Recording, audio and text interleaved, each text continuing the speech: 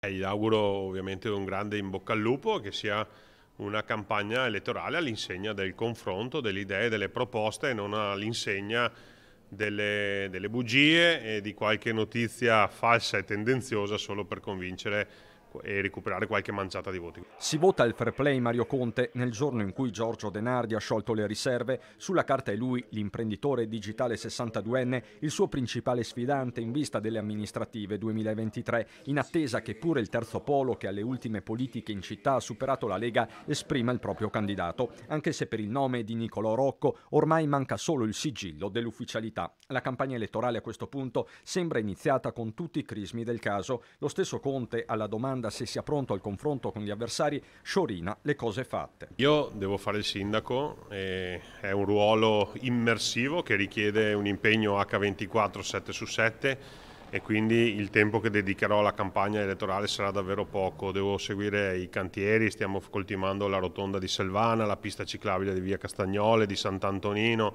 stiamo ultimando il bosco urbano eh, in Via Selvatico, ci sono tanti progetti che stanno partendo, quindi Tempo per fare campagna elettorale francamente non ne ho, se sarà necessario fare un confronto io non mi tiro assolutamente indietro. I dadi principali sembrano così tratti, ma nel gioco dell'oca della politica mancano delle caselle altrettanto fondamentali, quelle degli equilibri interni alle coalizioni. Se il PD alle prese con le primarie e conseguenti frizioni piange, la Lega schiacciata da Fratelli d'Italia non ride, ma per questo ci sarà tempo, per i candidati ora è il momento di studiarsi. Un grande in bocca al lupo a Giorgio Denardi, a Nicolo Rocco se sarà confermato come candidato al terzo polo e a tutti coloro che vorranno proporsi per la carica di sindaco.